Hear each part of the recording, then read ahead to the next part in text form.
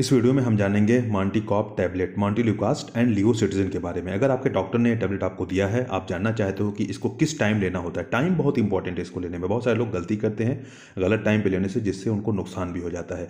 या आप अपना क्लिनिक चलाते हैं, आपको जानना है, आप मेडिकल स्टूडेंट आपको जानना है कि इसमें कौन कौन सा साल्ट है, किस बीमारी में इस्तेमाल हो सकता है, क्या इसका साइड इफ़ेक्ट है, रात में इसको लेना है या सुबह में लेना है, दो बार ले सकते हैं, एक बार ले सकते हैं, क्या इसका प्रॉपर डोज होता है। तो इस वीडियो को आप आराम के साथ, थोड़ा सुकून के साथ देख लीजिए। पहली चीज़ आप ये जान लीजिए कि इसमें दो दवा है, एक मॉन्टिल्यूकास दूसरा लियोसिटिज जो आप ऊपर देख सकते हो montelukast sodium and levocetirizine hydrochloride ये दो दवा इसमें है। तो दो दवा जब है तो इसका काम भी थोड़ा सा अलग होगा, काम थोड़ा सा इससे बेहतर होगा। क्योंकि सिर्फ़ मार्टिलोकास्ट का अलग काम है, लियो सिटीजन का अलग काम लियो सिटीजन आप लोग जानते हैं कि ये एलर्जी में काम करता है, किसी को सर्दी है, खांसी है, लियो सिटीजन का अलग से भी टेबलेट आता है।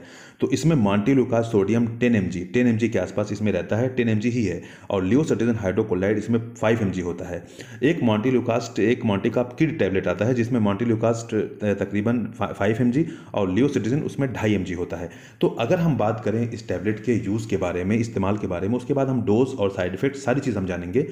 यूज़ की बात अगर हम करें तो अगर किसी को ब्रेथलेसनेस है, किसी को खिंचाव है, क्योंकि मॉन्टी लुकास क्या है ब्रांको डायलेटर आपकी सांस की नली को फैला देता है, जिससे अगर किसी पेशेंट को सांस लेने में दिक्कत हो रही है, सांस नहीं आ रही है तो ये मॉन्टी लुकास सांस की नली को फैला करके उसको सांस लेने में आसानी पैदा करता है।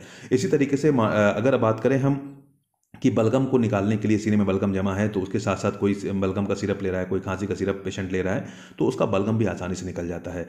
और अगर हम बात करें लियो सिटीजन की तो लियो सिटीजन एक anti allergic anti histaminic medicine है। अब ये किसी भी तरीके की आपको एलर्जी है, जब भी किसी को खांसी होती है तो उसमें साथ में सर्दी होगी, साथ में नाक से पानी गिरेगा, छींक आएगी, ये सब कंडीशन उसको रहती ही रहती है।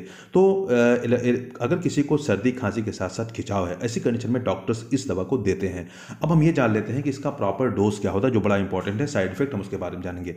इसका डोज ये होता है कि किसी भी पेशेंट को अगर कोई एडल्ट पेशेंट है डॉक्टर उसमें रात में एक गोली देते हैं। रात में सोने के बाद, सोने के टाइम एक गोली लेना था या शाम में जो भी मेडिसिन ले रहा है, उसके साथ पेशेंट ले सकता है। इसी तरीके से दवा को लेना होता है। कभी कभी डॉक्टर्स को सुबह शाम भी देते हैं। जैसी कंडीशन आपकी होती है, उस कंडीशन के हिसाब से देते हैं। जैसा आपके डॉक्टर ने बोला, उसी तरीके से आपको उस दवा को लेना है। बिल्कुल भी उसमें कहीं से भी गलती नहीं करना है। अगर हम ये जाने कि इसका साइड इफ़ेक्ट क्या हो सकता है तो थोड़ा सा पेशेंट को सुस्ती हो सकती है, नींद आ सकती है, थोड़ा वीकनेस जैसा लग सकता है, क्योंकि थोड़ा सा सुस्ती रहती है अगर आपको ऐसी कोई कंडीशन डेवलप होती है, ज़्यादा दिक्कत होती है तो आप तुरंत अपने डॉक्टर से मिलिए। और एक चीज़ का ये ख्याल रखिए, कभी भी दवा डॉक्टर से कंसल्टेशन से इस्तेमाल करिए, कभी सेल्फ मेडिकेशन कभी भी मत करिए। वीडियो सिर्फ़ आपकी जानकारी के लिए। Thanks thanks watching this video